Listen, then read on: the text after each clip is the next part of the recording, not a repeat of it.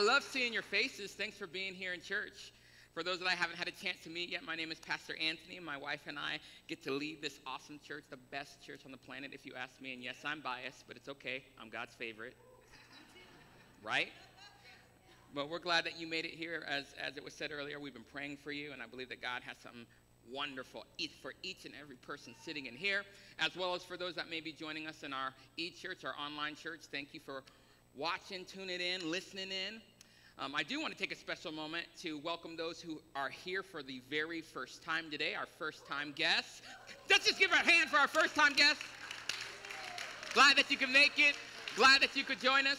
And we have a free gift for you. It's a worship CD from one of our missions partners who's also an amazing worship leader. So we'd like to put that CD into your hand. Um, so before you leave this place, just find any one of our amazing RLC squad volunteers. They've got a lanyard and a big smile, um, and they'll be happy to put that CD in your hand.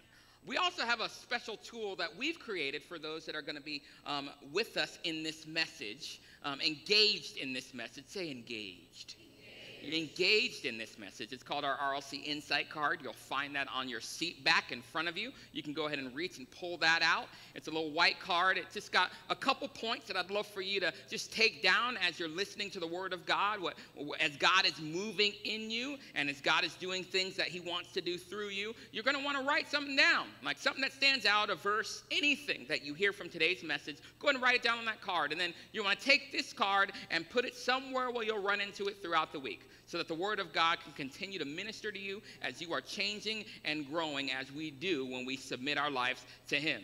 Ain't that right, church? Yes. All right, let's pray and get started. Father in heaven, we thank you. We thank you for what you're about to do. In fact, we are so ready. Like, this is why we came.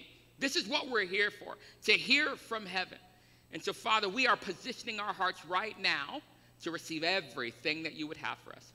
Father, I pray against any distraction. Anything that is right now trying to compete for our time is not of you. So we put those lists away, we put those worries away, we put those things that perhaps are, are weighing us down away. And instead, God, we choose to be with you in this moment. We choose to be present here, knowing, God, that as we are here with you, you are going to perform the miraculous because that's the kind of God that you are. And so, Father, we say thank you for that. We are so excited about that. Move in this place. In the mighty name of Jesus, I pray. Amen. Amen. Amen. So I'm loving this series that we're in at a church, as a church. It's called Soul Food. Say soul food. Soul food.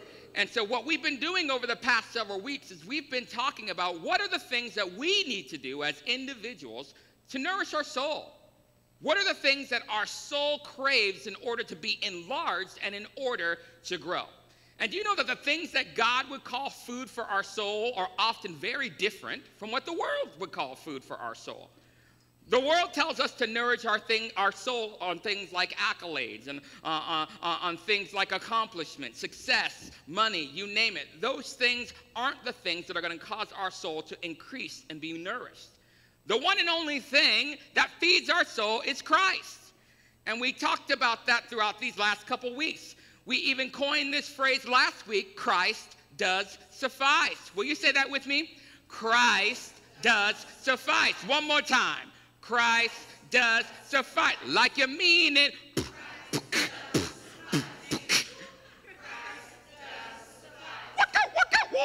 All right. Christ does suffice. That simply means Christ is enough. Christ is enough.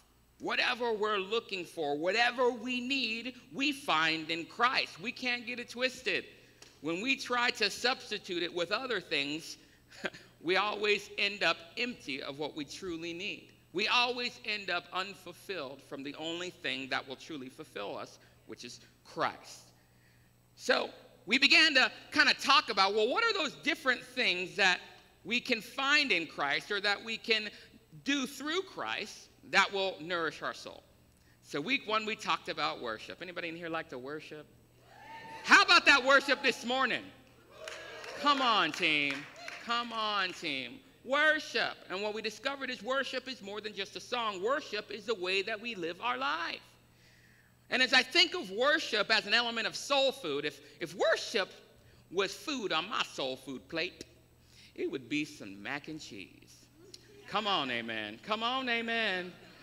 Cheesy, salty, good mac and cheese. The things that kind of, mac and cheese goes with anything these days. I don't know if you know that. They, would be throwing all kinds of stuff on mac and cheese. Be lobster, all kinds of meat and beef. Just because that's what mac and cheese does for me. It, it, it makes me want to worship God. Can I just get real? It makes me say, Jesus! Jesus! And then the week after that, we talked about prayer and how prayer is nourishment for our soul. How we must be praying without ceasing. Never stop praying. That's what it says in 1 Thessalonians. Having a, an, a conscious understanding of God at all times and taking Him with us wherever we go, letting Him impact our lives and our thoughts and impact our decisions. And prayer for me on my soul food plate is like a good pot of greens. It's rich in nutrients, it's got all kinds of flavor. It helps keeps me strong throughout the day. Who here doesn't like a good pot of greens? Apparently, uh, apparently by myself. Now, although I would say that nothing beats some good mac and cheese, and, and I would also say that there's nothing better than a legit pot of greens, these foods without some meat do not a soul food plate make.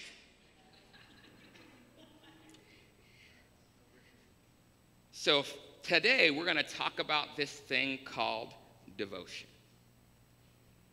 devotion to the Word of God. Devotion to me is my meat on that spiritual soul food plate.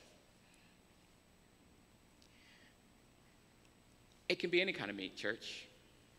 I don't discriminate, discriminate against my meat.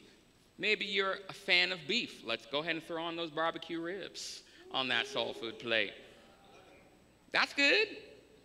Maybe you don't like beef. Maybe you like chicken. Maybe that's your flavor. Go ahead and throw on some fried chicken. That could be my meat on my soul food plate. But you can do chicken all kind of ways. What about chicken that's barbecue? We'll do that too. Or how about chicken that's smothered in gravy? You know you want some of that. Or for some of y'all in here, you might like, I like my chicken with a little bit of hot sauce. Or if you're like some people, you like your hot sauce with a little bit of chicken.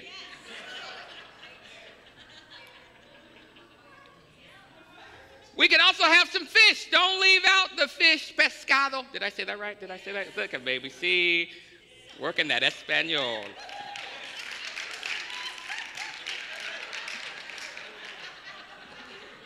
Fried catfish. Now, if you're in this and you're this, in this room and you knew that that little ball, hush puppy, come on. You notice that little that little lemon on the end? That's when you know you you into some good soul food. If you don't know what we're talking about, you need some black friends. I'm just saying. You need to go hang out in the hood or in the country with some black folk. I love y'all. They're like, stop, stop, before I get myself in trouble. Yeah, I would venture to say that the meat of our soul food plate is the Word of God. It is the centerpiece. It is the thing that nourishes us. And so we're going to start off today by going to the Word of God. Did you bring your Bible today? Come on, RLC, did you bring your Bible today? Hold it up. I need to see it. Stand to your feet. If you're able, go ahead, stand to your feet, whether you brought the old school leather bound version or the new school digital. Hold that Bible up like you mean it.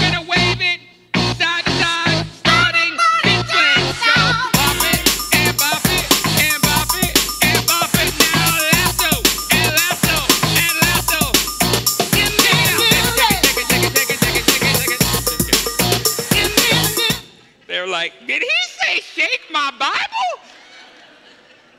I don't know if we're supposed to do that, Pastor. All right, go with me in your Bible to Hebrews 4, verse 12. Hebrews 4, 12. We're going to jump right in here. Hebrews 4:12 says, "For the word of God is alive and powerful. It is sharper than the sharpest two-edged sword." Cutting between soul and spirit, between joints and marrow. It exposes our innermost thoughts and desires. Now, have you ever heard of the term APB? We need an APB. Anybody watch any of those cop shows? APB, you hear it all the time. You know when they're putting out an APB on something, there's a search going on. Like they want everybody involved. We're really looking, we're really pursuing. Do you know what APB stands for? All Points Bulletin. I heard it. Some people know All Points Bulletin. See, I think the Word of God should be our All Points Bulletin. We should commit all our resources to pursuing its content as if it has every answer to every concern we have in our life because it does. Its importance is far greater than we could ever possibly imagine.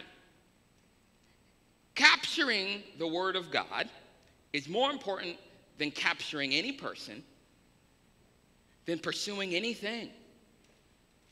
It is our APB. It is our all points bulletin. It is the thing that we should alert everyone to be on the lookout for, and everyone to be pursuing, and everyone to want to capture its content. In fact, we learn in Hebrews 4:12, as we just said, the Word of God is our APB. It is alive, it is powerful. Boom. That was too much of a stretch. Too much of a stretch. Y'all, y'all are with me. You're like, y'all are you're like, really? Really? Look, well, I went for it. I went all the way for it. See, as Christians, we're to devote ourselves to pursuing God's word, and it needs to come from a sincere place of love. Say love. When you love something, it's easy to devote yourself to it. Think about it. When you love something, it's easy to devote yourself to it because true devotion comes from a place of sincere love. I love my wife. My wife is beautiful. Look at her. She's gorgeous. Everybody look at her. It'll make her feel uncomfortable. She's gorgeous. She's fine. She's smart. She's intelligent. She's actually the most incredible person I've ever met in my life. And so I've devoted my life to serving her. She also makes beautiful babies, just, just so you know. Now, how do I, how does she know that I'm devoted to her? Well, my actions better speak as well as my words speak. Otherwise, it ain't much devotion.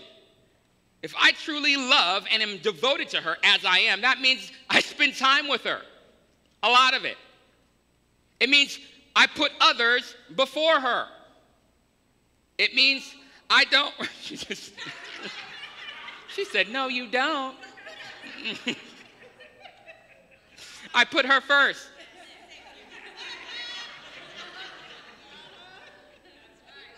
Yes, slipping. I put her first. I put her before others.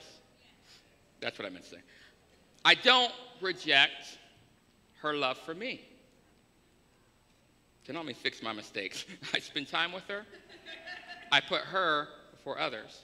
And I don't reject her love for me. Today, today we're going to talk about what are the three keys that I think are indicators of our devotion to Christ. So if you're taking notes, this is a, this is, these are some good points for you to jot down on that Insight card. I'd say the first key, number one, is time. Time. When you're devoted to something, you make time for it. I think that time is one clear, indisputable measure of devotion. We cannot claim to live a life devoted to God if we're not making time for Him. I think time is honestly our most valuable gift that we could give to God or anyone. Time is that one thing you can't make more of. You can make more money, you can gain more friends, you can't make more time. Time is limited, time is important. God wants our time. And when we give God our time, as we pursue Him and reading the Word of God, that's our way of saying that we are devoted to Him. We give Him our time. My wife and I have been together since 1997, so over 20 years. In fact, September 14th of this year will be our 15th year wedding anniversary. It's awesome. Especially considering that I'm only 25. Man, I married young. Here's the thing I'm pretty certain in that, in that amount of time, that 20 plus years that we've been together, that the number of days that I haven't spoken to her, I could probably count on one hand in 20 years. That's how much I love her. That's how much we are devoted to each other in some shape or form, whether even when we've been out of town and on trips, there's been a text, there's been an email, there's always an aspect of me giving her my time because I'm devoted to her. So, hear me, church, when I say this. If you are not spending daily time in the Word of God, engaging with Him, I question your devotion. I question how devoted you are to Him. The one who created you and everything. And if you aren't giving Him your time, how devoted are, are you to Him really? Time matters. And your time matters to him. Psalm 119, verse 20 says this My soul is consumed with longing for your laws at all times. At all times. Does your soul long for God? Are you consumed by seeking his presence at all times? See, I'm at a point in my life where I'd rather have an unsuccessful day with God than a successful day without Him. Anytime. Because I don't want to do anything unless God is involved. Because I know when I do things and I don't involve God in it, eventually I mess that thing up. But when I do things and I do it with God, even if I mess it up, He redeems it. Because He is the redeeming kind of God. See, the primary way that I make sure that I spend time with God is by being in His Word. I study it, I meditate on it, I memorize it. I'm obsessed with it because it works. Because I've seen the change that it's made in my life. I see the fruit that comes from me spending time with God. And sometimes I think we overcomplicate this thing. I think we get so ahead of ourselves. I think we set unrealistic expectations to what time with God would look like. Get yourself a win. If, if a win for you is opening your Bible in the morning, reading one verse, and meditating on it throughout the day, do you know that God is pleased by that? I think we get these unrealistic expectations. Not that we shouldn't want more, and not that we shouldn't be growing in more. Now, if you stay there, that's a problem. But if you start there and you grow from there, I call that victory. Sometimes we over romanticize what it should be like, and therefore we can't live up to our own expectations and we get frustrated. Well, I want to wake up in my time with God, open up my double doors, like sun is shining, go out into my cedar closet, have my cup of soy chai latte, pull out my journal, pull out my Bible and six different translations and then sit with God and pray for two hours, wait for a word, then dive into his word for another three. Like, that sounds wonderful. That sounds great. And amen. Should we all want to aspire to do more things? But if we think that that is the standard, no wonder we're frustrated. Y'all know that God can slap me upside the head with one word? Sometimes, I, sometimes I could straight up be in the Word of God for hours, get lost in it. And I'm like, God, I've been studying these scriptures and I've been doing all these things and I, I, I, I've, been, trying to hear from you here. Like, brother, when the minute you walked in, I told you to forgive. Go back and do that first. The minute you walked in here, I said, How about you trust me? And now you're trying to theologize your way out of the challenge that you're in. You're trying to work your way into my grace when I already gave it to you. There are times where we just need to make sure that we are in the presence of God and let God does do what only God can do. But you got to make time for him. You got to make intentional time for him. You got to protect it. Watch him move through you and watch him grow in you. So, key number one of devotion is time. Key number two, value. Value. You might be like, well, what do you mean by value?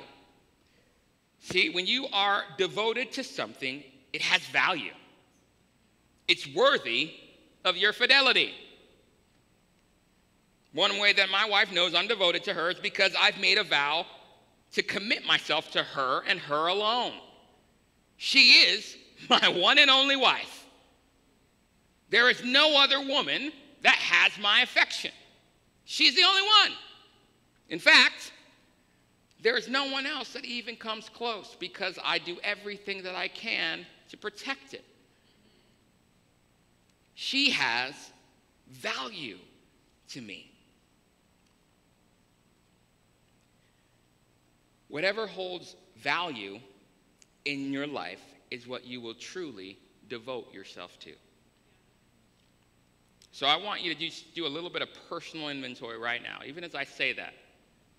Whatever has the most value to you is what you truly devote your life to. What is the thing that is of greatest value to you? Be honest with yourself.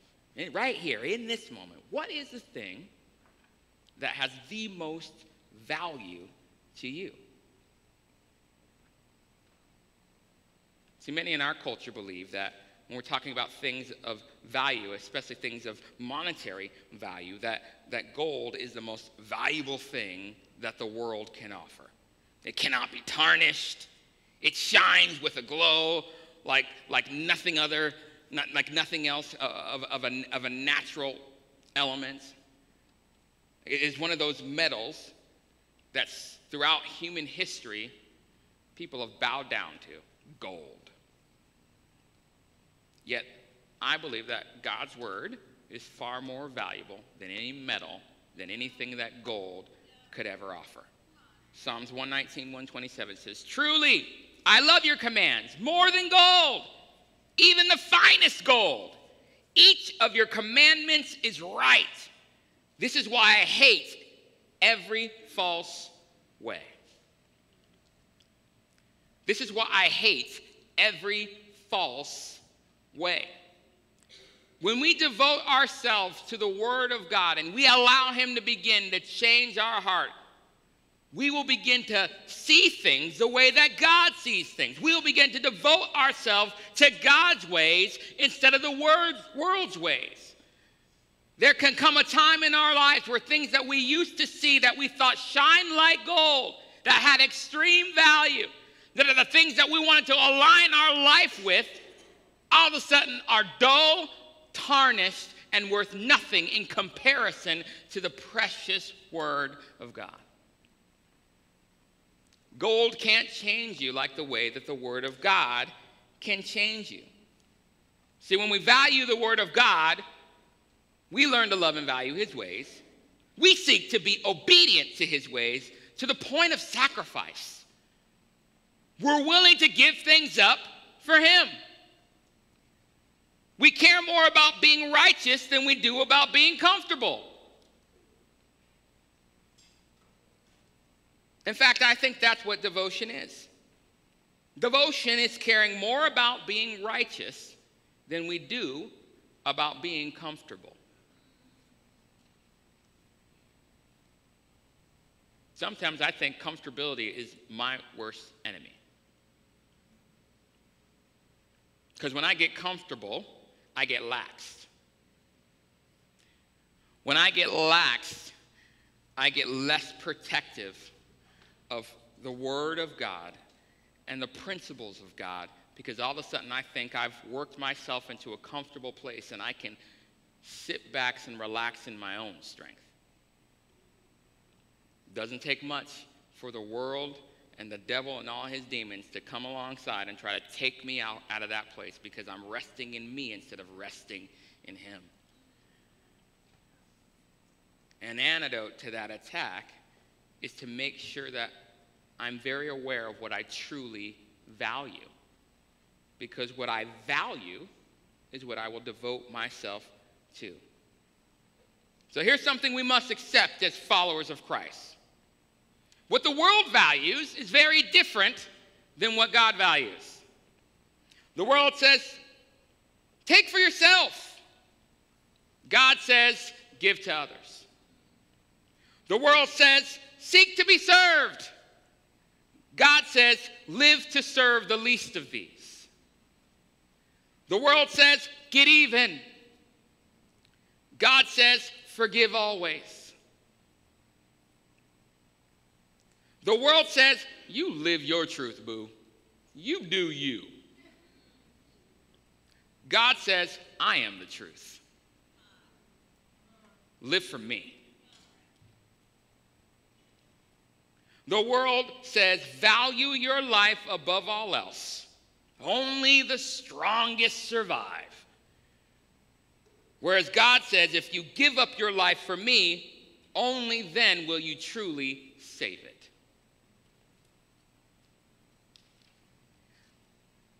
If there's one thing we should value above our very lives, it's our devotion to God. Church, we are to value the Word of God as if our very soul depends on it, because it truly does. And the third key to living a devoted life first one was time, second one was value, the third one is trust. If we make time to spend in God's Word, if we value the Word of God more than we value the greatest riches this world has to offer, then we should ultimately trust. Trust that everything in it is true and we can live our lives walking in that blessed assurance. Do you trust that the Word of God is true? Do you trust that God is who He says He is and will do what the Bible says He will do? Do you live your life as if it was true? Jeremiah 17, verse 7. But blessed are those who trust in the Lord and have made the Lord their hope and their confidence. Say hope. hope. Say confidence. confidence. Say hope. hope. Say confidence. confidence. Say hope. hope. Say confidence. They are like trees planted along a riverbank with roots that reach deep into the water. Such trees are not bothered by the heat or worried by the long months of drought. Their leaves stay green and they never stop producing fruits. See, the Word of God says we're actually blessed when we trust in Him. That it's through the Lord that we find our hope and our confidence. Our, I love that, our hope and our confidence. We are living in a world, church, where there's so many people that are so hopeless. People that seemingly have everything that are taking their lives, that are living the dream, but they don't have their hope and they don't have their confidence. I think the most dangerous thing that we could do is begin to walk in our own self made confidence and our own self made assurance and then when we feel like we have everything we've ever wanted, everything we've ever strived to achieve, and are still left with a big gaping hole in our life, we have no hope. And we lack all confidence. Well, I find my hope and I find my confidence in the Word of God. I find my hope and I find my confidence in the truth that is Jesus Christ. I find my hope and I find my confidence and the fact that he loves me so much that he gave me his very best. So why wouldn't I want to give him my very best? It's a privilege to spend time with my God. It's a privilege to wake up and open my Bible and know that all I have to do is speak a word, and the God that created everything is coming right down, sitting right there with me, saying, I want to meet your every need. You are my son. I have a purpose and I have a plan for you. The things that I put in you will find their way to completion if you just trust me. And as you trust me, guess what? I'm going to ask you to stop doing some things and to start doing other things. I'm going to ask you to stop living a life of impurity and start walking in the truth. I'm going to ask you to put down your addictions and your compulsions and your behaviors and pick up my love and my assurance and my confidence because that's the only thing that's going to carry you through. Me fighting that not only does my God a disservice, breaks his heart, but it will cause me to lose hope and cause me to lose confidence. When my roots are planted deep in the water, I love it. That the heat, worried by the long months of drought, they don't cause my leaves to wither, but they stay green, always producing fruit. Are you producing fruit in your life? If there is a, uh, an area in your life that you know that you're not producing fruit in, I would ask, do you trust God and are you giving that area to Him? Trust is accompanied in obedience.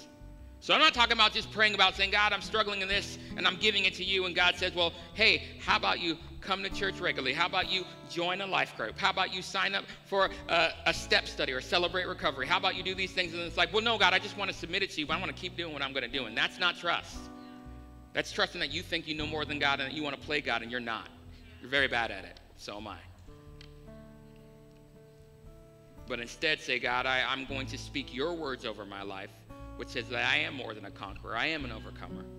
That says, I can do all things through Christ who strengthens me. That no weapon formed against me shall proper, prosper.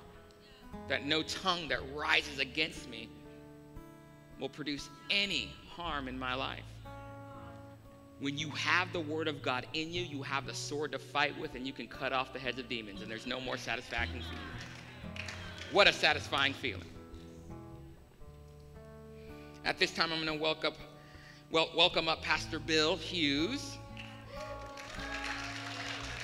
And I've asked Pastor Bill to share for a couple moments what devotion in his life looks like as he nourishes his own soul. Good morning. I'm a mechanic. I have a, the kind of mind that desires to know how things work. I learned about cars from my dad in logic and carpentry from my granddad. I didn't just swing as a kid, I felt the gravity, the acceleration, the, what I would learn is centrifugal force. And I used that and, and shifted my weight to go higher faster than, than the other kids. I learned how to skate faster using my long legs to my advantage. I didn't have them, had them then. It frustrated me that Steve could ride his bike faster when I could beat him in every other challenge. I was raised in the church, but it held little value because it was not a priority for Daddy. I didn't care about excelling, I didn't care about fruit in my life. I didn't care about getting saved until my friend Glenn got baptized. And then I wanted to be baptized. When I started driving, I started skipping church and went riding with my friends. Finally, I dropped out of church. At 25, my life was a train wreck. Everything I touched was a wreck. There were many hurt people, including me.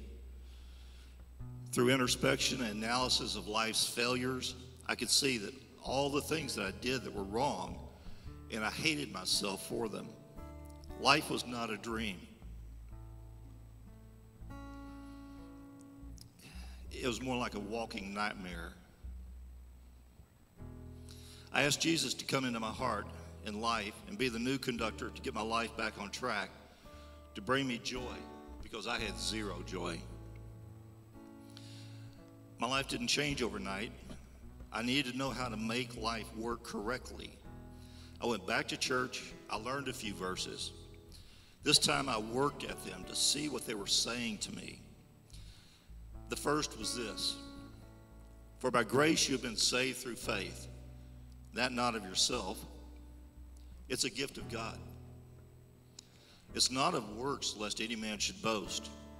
For we are his workmanship, created in Christ Jesus unto good works, which God has before ordained that we should walk in them. I learned that God has a plan for, me. He has work for me to do in this life. And I already knew that my plans didn't work, so it was easy for me to want His. When my life was in the pit of despair, I couldn't care for my family, I used the Word of God to stay somewhat up and, and continue functioning. The Lord knoweth the days of the upright, and their inheritance shall be forever. They shall not be ashamed in the evil times. In the days of famine, they will be satisfied. I clung to that. My family's life was famine, lack, and my life was pointless.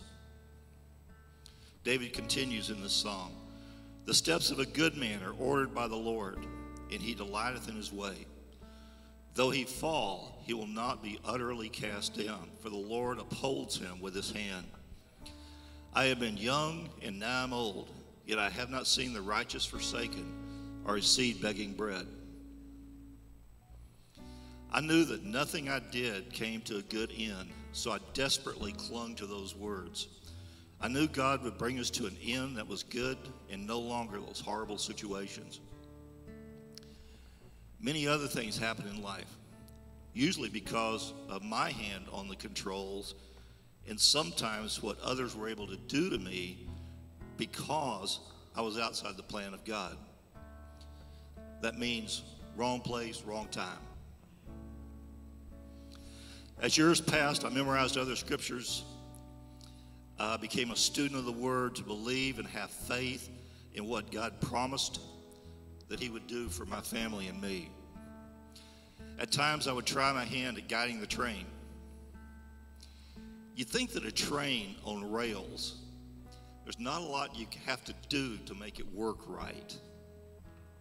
Come on. I still made mistakes. I hurt my children. I hurt my family. I hurt me. I now know that God has a plan. It's a good plan because he's because he is a good God. And the basics of the plan of God are outlined in his word. I study the word and he reveals steps to me. He talks to me while I study to reveal specific things that I need to do for today or tomorrow. And Jesus reveals his love for me. Studying the Word of God has become soul food for me. I invest my time, my devotion to the Word, and He teaches me. The Word changed my life. And although not all of them may know it or remember it, it changed my family's life too. I'm a mechanic. I want to know how life works. I choose God's plan for life over my mistakes and failures and pointless life.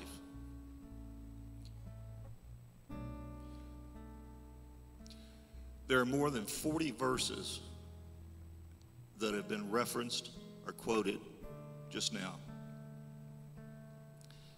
His words define my life.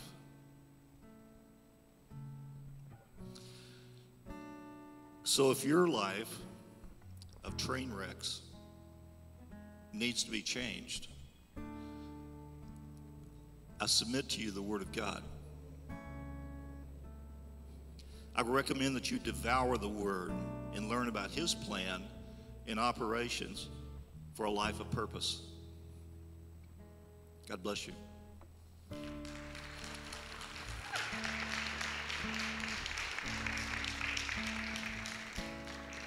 Yeah, when it comes to nourishing our soul, I don't know if there is a greater tool to do that than the Word of God. And for many of us who've perhaps been in our, been on our Christian walk for a long time, I realize that this is not a new thought. And I realize it'd be very easy in this moment to dismiss what we're hearing with, like, well, yeah, I know that.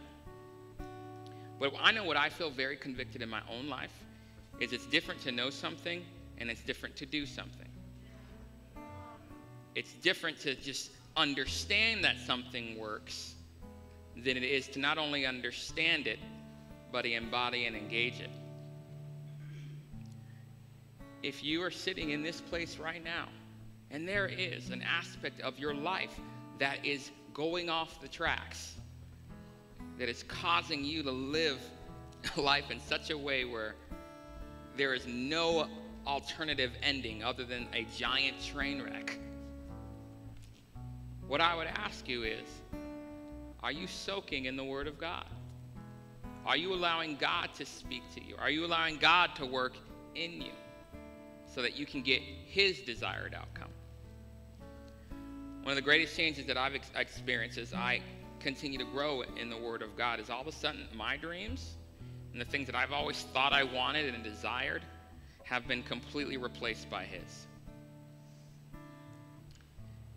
And the most amazing, truly miraculous thing has happened as I've watched that transformation take place.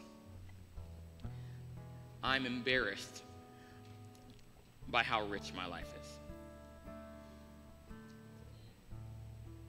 And it's not rich because of the circumstances that I'm in. It's rich because of my relationship with Him and now how I look at those circumstances. There's so many things that I would have missed before. So many people in my life that I would have overlooked. Opportunities that God has given me that I would have seen as not great opportunities at all. There wouldn't be a Redeemed Life Church. If I had things my way, y'all, I was going to be a superstar. Y'all don't even know. I was going to be living for myself. I would have never called it that. I would have been the first person to say, oh, generosity was in me. After I received my first Oscar, I was going to buy my mama a house. I was going to take care of my family. And I was going to be empty and continuing to try to fill a void with things and accolades and applause that, that I have now because I love my God. My life is an embarrassment of riches. And God is responsible for all of it. And what God has done in me, God also wants to do in you. Will you bow your heads and pray with me? Lord, I thank you. I thank you so much for how amazing it is to be refreshed emotionally and spiritually by reading your word, by meditating on it, by absorbing it into my, my heart, my mind, and letting it feed my soul. Father, I thank you that you are a loving God. That it's because of your great love and your great compassion that you sent your Son to perish for my sins so that I could live eternally with you. God, I thank you for your faithfulness, for your deliverance, for the things of you that give me such a great hope and such a great confidence. I thank you that you are interested in me, that you are mindful of me, that you are faithful to deliver me from all the things that would come to try to steal, kill, and destroy my life. And I thank you, God, that it is the desire of your heart that every son and every daughter, every man and every woman in this place would know you. Father, I thank you for what your word says in Lamentations 3:22. Because of the Lord's great love, we are not consumed, for his compassions never fail. They are new every morning. Great is your faithfulness. Father, I thank you that salvation only comes from you. That we recognize that we have a desperate need for you. That you are our living water. Father, I pray that our souls be nourished to completion in you. And I know that the only way that we can come to such a place of nourishment is, is if we know your Son, Jesus Christ. Now, perhaps you're sitting in this place today and you would say, I do not know him.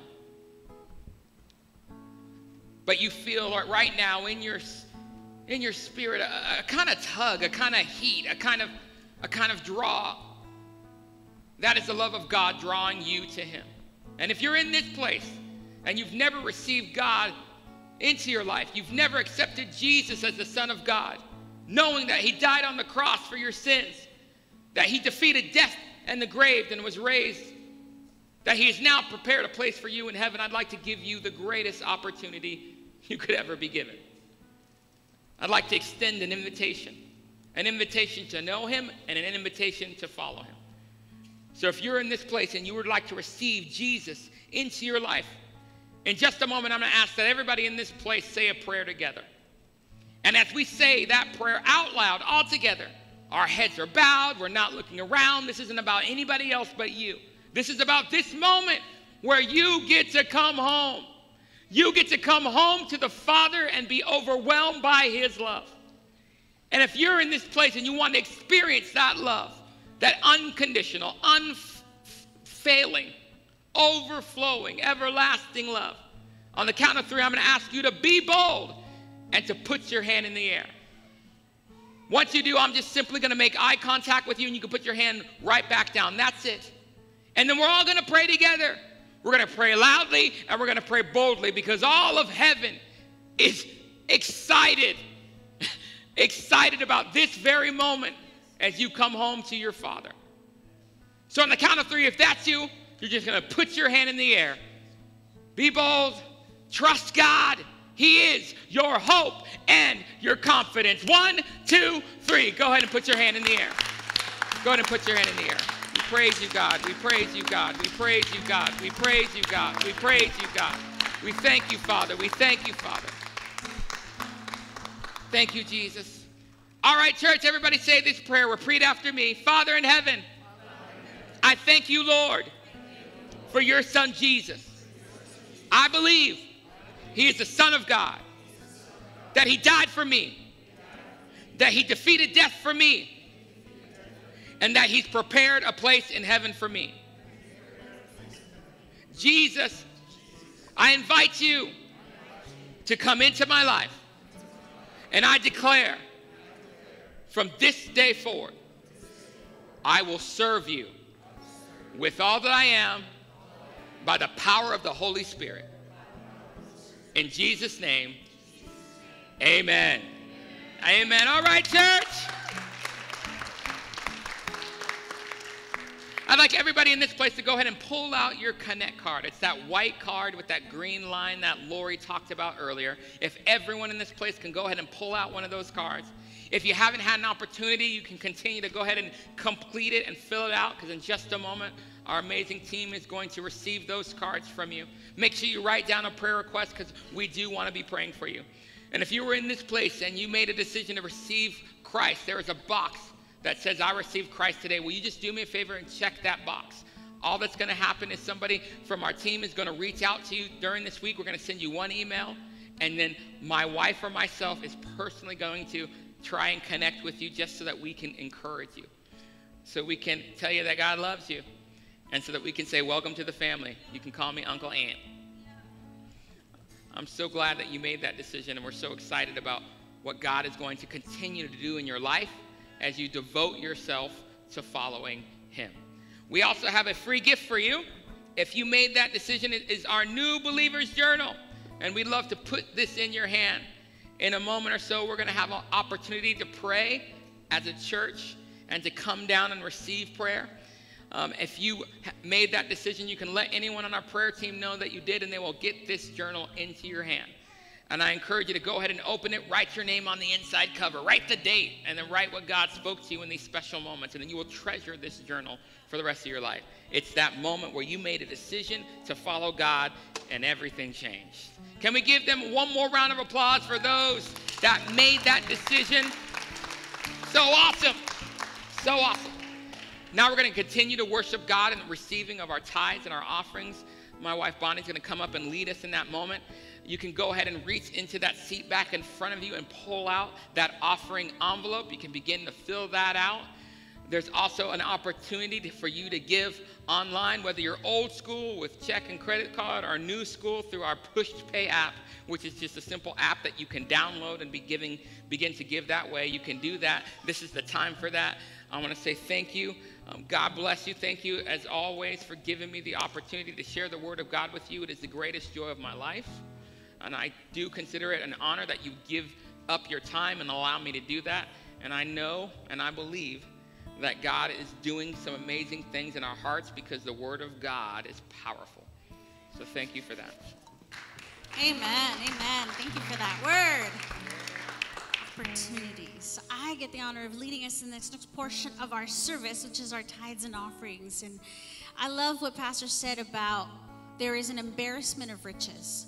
And I think as Americans, we perhaps sometimes lose perspective of that. And what I love as a church that we constantly have missions that are going out. And right now we currently have our international missions team is in Uganda. And they're blessing mamas right now that are raising not only their own children, but children that have been orphaned through the pandemic of HIV. And I love that as a church, perhaps we are not physically necessarily called to go and be the hands and feet of Jesus, but we are called to partner with our brothers and sisters and to make a difference in that way. And I believe that when we talk about an embarrassment of riches, it's all about the perspective. I love how he said, it all depends on how I look at my circumstances. And I think we all have been in a position where perhaps we look at our lives and we can say, okay, I am blessed beyond measure because of my family, because of my job. And I think it's a reminder for us. I believe that it's the opportunities like right now where we can partner together as a church and we bring in what we can, but together we make a difference because the Lord is the one that multiplies it, right? And I love how in Galatians, Galatians 6:10 it says, "While we have the opportunity, let us do good to all people, and especially to those who are of the household of faith." And I believe that as a church, we also partner up with our national ministry and we have our, our local ministry, which is Homework House. And it's about bringing that opportunity and that richness to those around us. And what I love is that as a, as a church, we give to these ministries, but what's really great is that some of the people who are taking advantage of these great works that are out there is also people who are in our church within our house. So it's a double blessing as we give. And I also believe that as we move forward as a church and we're starting our vacation Bible school camp for kids this summer, that's also just another opportunity. And what I love is that that's made possible by us, by a church, by just coming together and say, okay, we're going to put our tithes and offering together. And we know that God's going to change it, not just for us as a church, because that would be so limited, but for the community. Because then these kids are going to grow up and they're going to be the ones that are making a change nationally and internationally. And that's what's exciting to us. So I'm going to lead us in prayer as we prepare our, our tithes and offerings. And I say, Lord, thank you, God. Thank you so much for your word, Lord. Thank you so much that we get to be a partner in the kingdom, God. Lord, we say that you can take our tithes and offerings, and you, Lord, you're the one that funnels them exactly where they need to go. So, God, today we say thank you. Thank you for the embarrassment of riches in our own home. Thank you so much for the blessing that you have given us and bestowed upon us as individuals. Thank you that we are alive and healthy to come to your house, that we don't fear for our lives, that we get to walk into your house and say, I devote my life to my Father. So, God, we say, take our tithes and offerings, Lord, and you multiply them, God, and you funnel them exactly where they need to go. Lord, it's our our embarrassment of riches, of the blessings that we know that are in our lives and they're about to enter our lives. So we thank you, Lord, for the opportunity to partner. In Jesus' name, amen, church. Amen. The ushers will serve us in a little bit. We bless you, oh, I heard thousand stories of what you think you're but I.